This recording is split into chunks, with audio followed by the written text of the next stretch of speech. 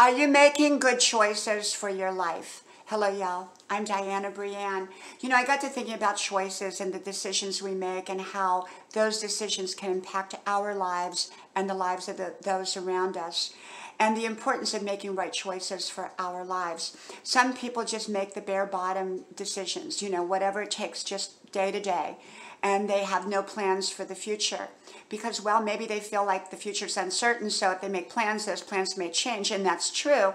And yet without plans we're probably going to be like a little boat out in the water somewhere that's just kind of moving around and with no direction. So it's important to have direction whether we ultimately get there or not.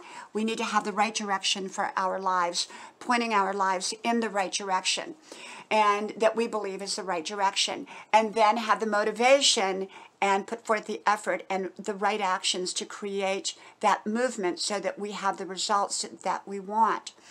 And so our choices do impact our lives. They impact our relationships. They impact the people around us. They impact our finances. They impact our health.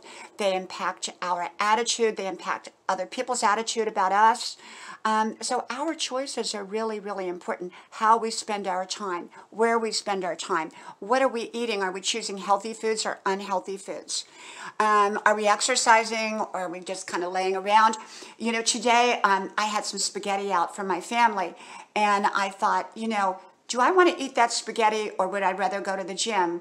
And because I do eat very healthy, and spaghetti can be healthy, um, I'm not saying it's not healthy because I think it can be in, in moderation. And yet I thought, no, I'm going to go work out. And so I went, and my choice was to go work out instead of eating the spaghetti. And, uh, and maybe I'll have a little bit later, you know. And so it all comes down to choices. Where are you spending your time? Are you sitting in front of the video games all day? Or could you be using that time for something that's going to show up wonderful in your future? You know, where you invest your time and your energy will likely determine the results that you get in your life. So I hope that you make great choices. From my house to yours, may God bless you. I do hope you like, share, subscribe, and I hope to talk to you soon again. Bye bye.